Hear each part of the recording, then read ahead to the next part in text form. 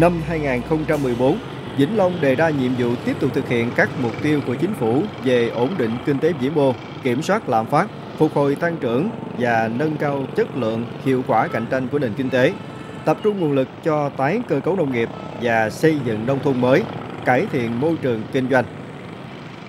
Nghị quyết năm 2014 của tỉnh ủy cũng xác định là chúng ta tiếp tục và thực hiện cái mục tiêu chung của chính phủ đó là à, kiềm chế cái lạm phát à, ổn định kinh tế vĩ mô à, trên cơ sở đó là nâng cao cái à, chất lượng cái hiệu quả của nền kinh tế à, và góp phần là tăng cái thu nhập và cải thiện đời sống cho người dân. À, đối với tỉnh Vĩnh Long chúng ta thì chúng ta sẽ thực hiện tái cơ cấu cái nông nghiệp của tỉnh và trong năm qua là chúng ta có cái giảm sút À, trên cơ sở à, tái cái cơ cấu đó thì tỉnh cũng dùng cái à, nguồn lực để đầu tư cho cái tái cơ cấu nền nông nghiệp nhằm cải thiện cái thu nhập cho người dân. Bên cạnh đó cũng dùng sức cho xây dựng cái nông thôn mới. À, ngoài ra thì à, cũng tiếp tục đẩy mạnh cái cải cách hành chính và cái phòng chống ngăn ngừa cái tham nhũng cái lãng phí à, cải thiện cái môi trường kinh doanh à, và tăng mạnh cái thu hút đầu tư Nghị quyết tỉnh ủy năm 2014 đề ra 10 trên 25 chỉ tiêu chủ yếu về phát triển kinh tế với những nhiệm vụ, giải pháp cụ thể. Về nông nghiệp, tập trung triển khai thực hiện có hiệu quả đề án tái cơ cấu nông nghiệp theo hướng nâng cao giá trị gia tăng và phát triển bền vững, chú trọng phát triển các loại cây trồng vật nuôi là tiềm năng, thế mạnh của tỉnh. Tiếp tục nhân rộng các mô hình sản xuất hiệu quả cao. Tiếp tục đầu tư, đảm bảo các điều kiện cho sản xuất nông nghiệp, tập trung hỗ trợ tháo gỡ khó khăn cho nuôi cá tra thâm canh, mở rộng các mô hình nuôi thủy sản, đổi mới phương pháp xúc tiến thương mại, tìm đầu ra ổn định cho các sản phẩm nông nghiệp, quyết tâm phấn đấu có 9 xã đạt nông thôn mới. Về phát triển công nghiệp, tiểu thủ công nghiệp, tỉnh đề ra nhiệm vụ chính là tập trung đẩy nhanh tiến độ xây dựng cơ sở hạ tầng khu công nghiệp Hòa Phú giai đoạn 2, khu công nghiệp Bình Minh, tuyến công nghiệp Cổ Chiên. Tập trung giải quyết dứt điểm việc thu hồi đất, và giao mặt bằng cho nhà đầu tư để triển khai nhanh các dự án, tiếp tục thực hiện dự án mời gọi đầu tư giai đoạn 2013-2015.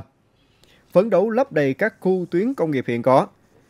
Trong đó, khuyến khích các thành phần kinh tế đầu tư phát triển những sản phẩm có lợi thế cạnh tranh, ứng dụng công nghệ tiên tiến, thân thiện với môi trường, tập trung triển khai có hiệu quả đề án tổ chức lại sản xuất ngành gạch gốm của tỉnh, phát triển sản xuất vật liệu không nung. Để đạt được mức tăng trưởng xuất khẩu năm 2014 là 380 triệu đô la. Và như mục tiêu đề ra tức là tăng hơn 9% so với ước thực hiện năm 2013 thì à, mức kim ngạch xuất khẩu của năm 2014 tăng hơn à, so với 2013 là hơn 30 triệu đô la. Thể hiện qua các mặt hàng ở duy trì như là mở rộng thị trường và tăng các mặt hàng giày da là 18 triệu đô la và nông sản thủy sản chế biến thì tăng khoảng là 10, 12 triệu đô la và hàng thủ công mỹ nghệ à, tăng khoảng 4 triệu đô la. Và riêng mặt hàng xuất khẩu gạo thì sẽ dự báo tình hình và dự kiến tương đương năm 2013 để thực hiện tốt mục tiêu trên thì ngành cùng với các ngành chức năng đã tham mưu tốt cho ủy ban và thực hiện các biện pháp để à, điều hành cái xuất khẩu gạo là phối hợp chặt chẽ với các hiệp hội ngành hàng của trung ương doanh nghiệp xuất khẩu trên địa bàn tỉnh để thực hiện là các biện pháp. Năm 2014 thì có thể nói rằng cái phát triển ờ, khá là vững so với năm 2013 thì phát triển trên cả ba cái lĩnh vực công nghiệp, nông nghiệp và thương mại. Hơn nữa là trong quá trình tổ chức thực hiện thì thấy rằng à, năm vừa qua chúng ta cũng tổ chức chúng ta tập trung cái mục tiêu về kinh tế chúng ta là làm sao là chúng ta tiếp tục tái cái cơ cấu của ngành nông nghiệp chúng ta à, cho nó tốt và qua đó thì cái hiệu quả bước đầu về cái tái cơ cấu này chúng ta cũng là đi đúng hướng.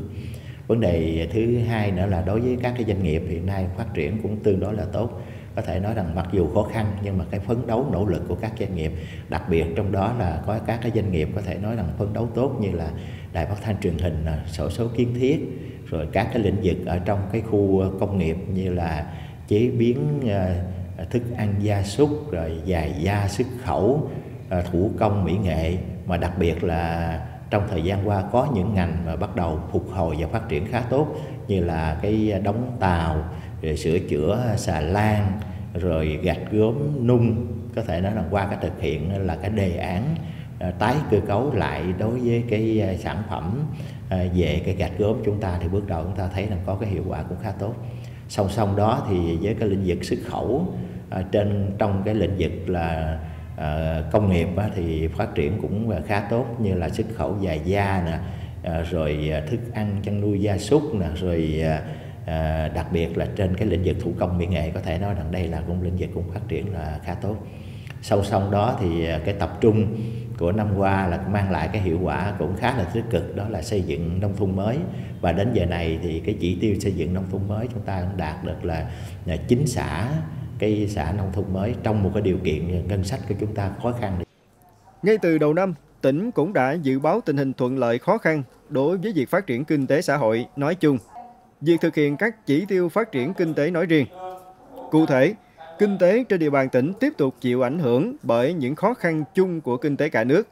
Sản xuất kinh doanh, thương mại dịch vụ ở một số ngành lĩnh vực tăng trưởng chậm, chưa đủ nguồn lực để khai thác tốt tiềm năng trong sản xuất nông nghiệp. Sản xuất lúa có xu hướng bảo hòa.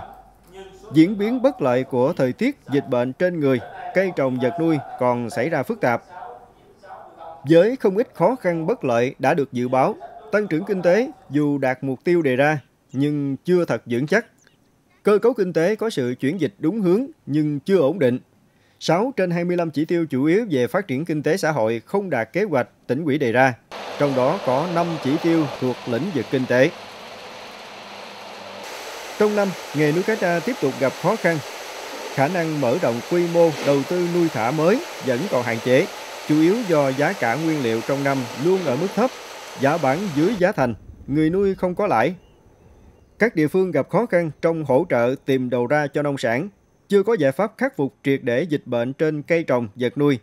Việc lãnh đạo chuyển dịch cơ cấu kinh tế trong nội bộ ngành nông nghiệp còn chậm.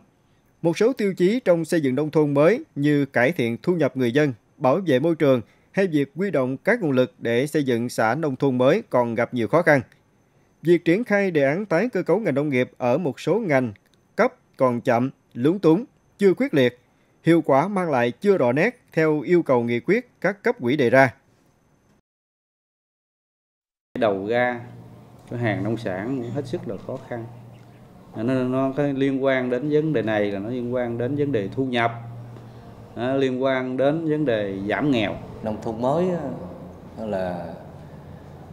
còn là một số xã là khi mà sơ kết đó là cái 9 tháng đầu năm là coi như là còn năm xã là chưa đạt tiêu chí nào.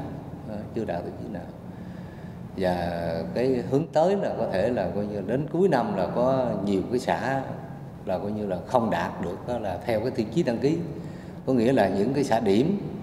Ờ, thì có thể đạt, nhưng mà những cái xã mà bình thường là coi như là hai tiêu chí, ba tiêu chí thì có thể là đến cuối năm là có thể không đạt. Cái khó khăn hiện nay. Ờ, do các cái tiêu chí còn lại thì hầu hết là phải ờ, có tiền. Cho nên là nó khó là nó khó cái là cái nguồn ngân sách của huyện cũng hạn chế. Dân thì khó khăn, sản xuất nông nghiệp. Thì đến thời điểm này thì coi như là cũng chưa được là các cái doanh nghiệp đến để mà hợp đồng là ký kết để mà thu mua hàng hóa là cho dân. À, cái chuyển dịch cũng còn chậm ừ, nhất là trong cái nội bộ của ngành nông nghiệp. Ví dụ như là về trồng trọt rồi à, à, nuôi trồng thủy sản và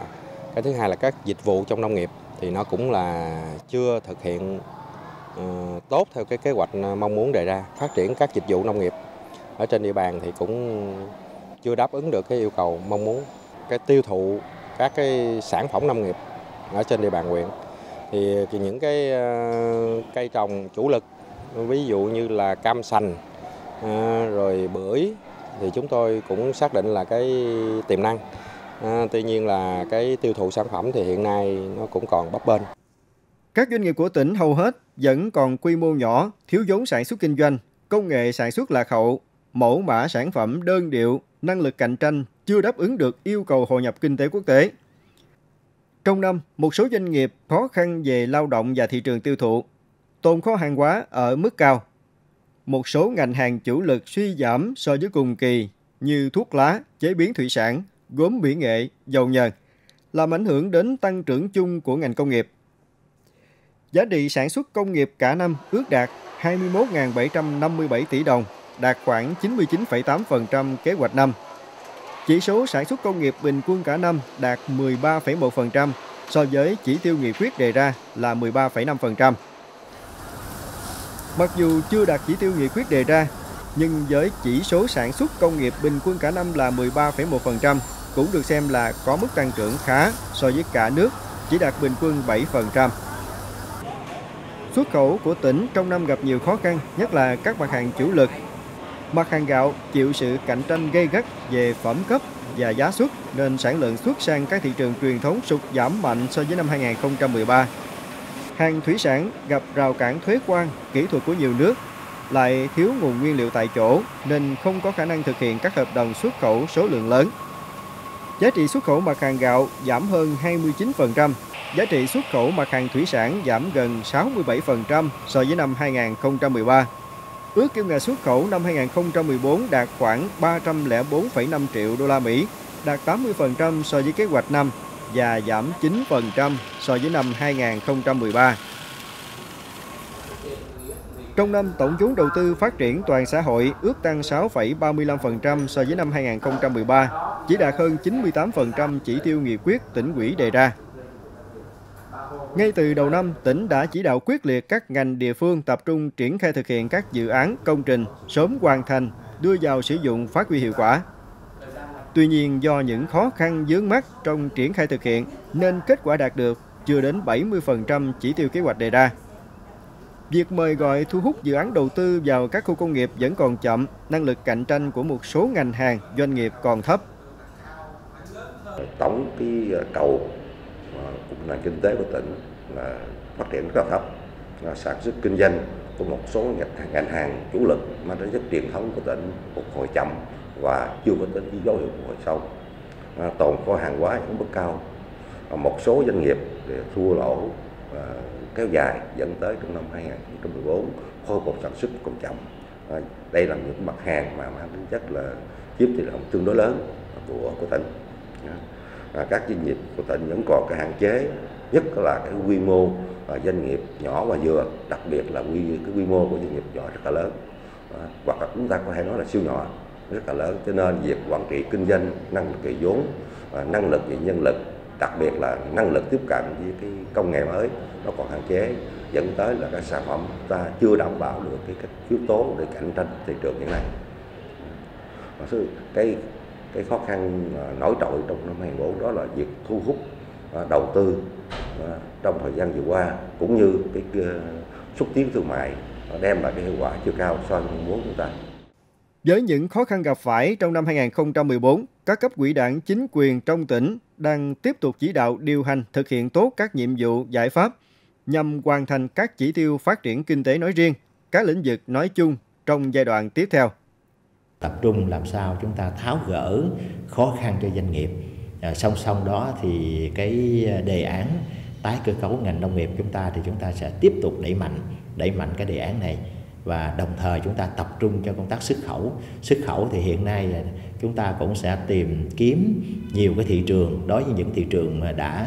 phát triển ổn định rồi thì chúng ta nâng cái chất lượng lên để chúng ta mở rộng cái thị trường ra. Còn đối với những lĩnh vực mà hiện nay là phát triển mà còn khó khăn thì đối với cái ờ, tỉnh thì cũng phải tiếp tục tìm kiếm để làm sao chúng ta xúc tiến chúng ta tổ chức để chúng ta tổ chức xuất khẩu cho nó tốt hơn. Và đồng thời à, xoay quanh về cái tái cơ cấu ngành nông nghiệp thì chúng ta phải tiếp tục làm sao chúng ta khống chế được cái dịch bệnh ở trên cây trồng vật nuôi. Có thể đây là một cái lĩnh vực hiện nay cũng là rất đáng quan tâm của tỉnh chúng ta. À, song song đó thì cái xây dựng nông thôn mới thì chúng ta cũng phải tiếp tục chúng ta đầu tư À, để chúng ta thực hiện cho tốt về cái nông thôn mới và đồng thời chúng ta cũng tiếp tục chúng ta giải quyết những khó khăn vướng mắt của các cái doanh nghiệp ở trong khu công nghiệp ở trên các địa bàn và trong cái giải quyết này thì chúng ta cũng phải ưu tiên à, đầu tư à, phát triển những cái doanh nghiệp mà hiện nay là chuẩn bị là khởi công mới và đưa vào hoạt động của năm 2015. Với quyết tâm cao từ các cấp ủy đảng, chính quyền, sự đồng thuận ủng hộ của các tầng lớp nhân dân, hy vọng mục tiêu phát triển kinh tế sẽ đạt nhiều kết quả tích cực hơn, có phần vào sự phát triển kinh tế xã hội nói chung, tiếp tục ổn định tốt đời sống người dân trong tỉnh.